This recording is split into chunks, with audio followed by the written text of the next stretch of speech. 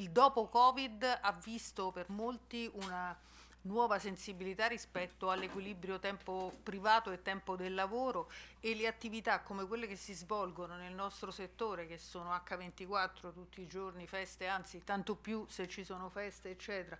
e a rotazione nell'arco della giornata sulle 24 ore sono guardate con molta difficoltà.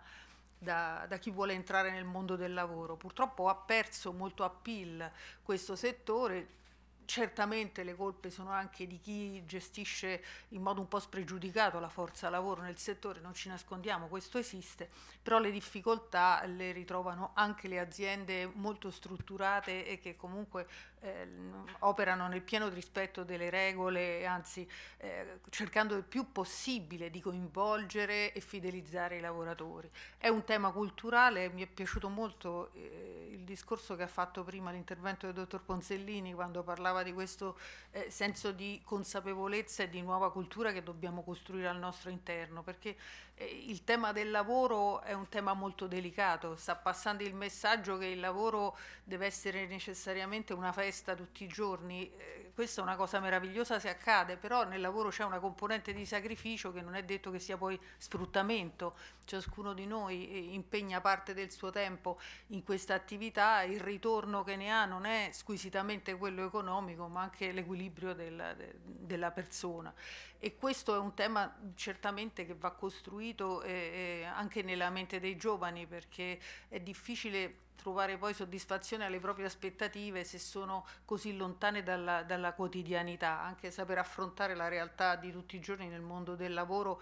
è, è fondamentale. Ciò non toglie che ovviamente sono chiamati gli operatori al massimo rispetto di tutti quelli che sono i, i, i, i diritti che i lavoratori hanno e anche a premiare e valorizzare il lavoro che viene svolto. Eh, è un settore il nostro che è in una fase eh, direi esplosiva, siamo passati da un fermo pressoché totale fino a 12 mesi fa non succedeva niente. A 12 mesi, eh, oggi siamo esattamente all'anniversario della ripartenza dal Covid in cui si è lavorato a livelli eh, mai raggiunti prima. Il centro studi di Confindustria ha già misurato che i primi tre mesi dell'anno hanno visto un incremento del 33% della spesa dei turisti internazionali in Italia eh, sono numeri che già partivano molto alti, ma che ora stanno continuando a crescere in modo molto forte e soprattutto continuativo. Quindi nell'arco dell'anno non abbiamo visto grandi flessioni del, del turismo, quindi una sorta di destagionalizzazione determinata dalla voglia delle persone di uscire. E questo ci porta su, sul tema di oggi, quello della, della sostenibilità. Il turismo può continuare a crescere, può dare valore al paese, ne sta dando già molto e può continuare a darlo, eh, certamente vanno eh, sfruttate le opportunità che il nostro paese ha, che non sono solo quelle dei grandi attrattori turistici consolidati, ma anche quelle delle aree interne.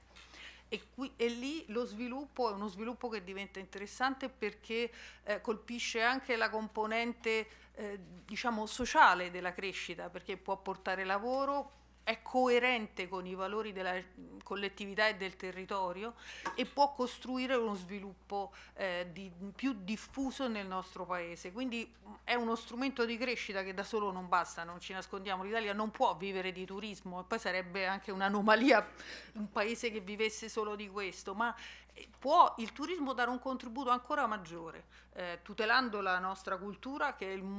la nostra cultura della quotidianità, non solo la nostra cultura dei musei. Attenzione, eh, i viaggiatori quando beh, scelgono l'Italia vengono certamente perché ci sono tantissimi attrattori, ma la cosa che colpisce di più e che ritroviamo in tutte le analisi che vengono fatte è la voglia di venire a vivere a vedere la vita come loro immaginano la facciano gli italiani, che ai loro occhi è un modello di vita particolarmente coinvolgente, bello, interessante. Ai nostri forse un po' meno, visto che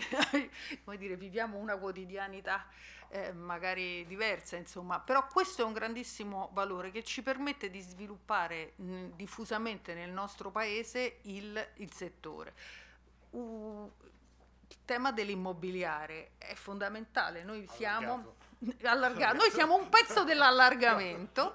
Eh, quello italiano è il patrimonio più grande che ci sia in Europa di, di, di alberghiero, è un patrimonio importante e un po' datato. Eh, gli interventi di cui ha fatto parola il Ministro sono stati molto importanti. Credo che la risposta delle aziende italiane alberghiere alle ai due bandi PNRR che sono stati fatti, Free Turismo e IFIT prima, è stata impressionante, con una messe di progetti avanzati, cantierabili, pronti, in una lo- logica di transizione ecologica e di riqualificazione dell'offerta che è stata impressionante. Purtroppo le risorse erano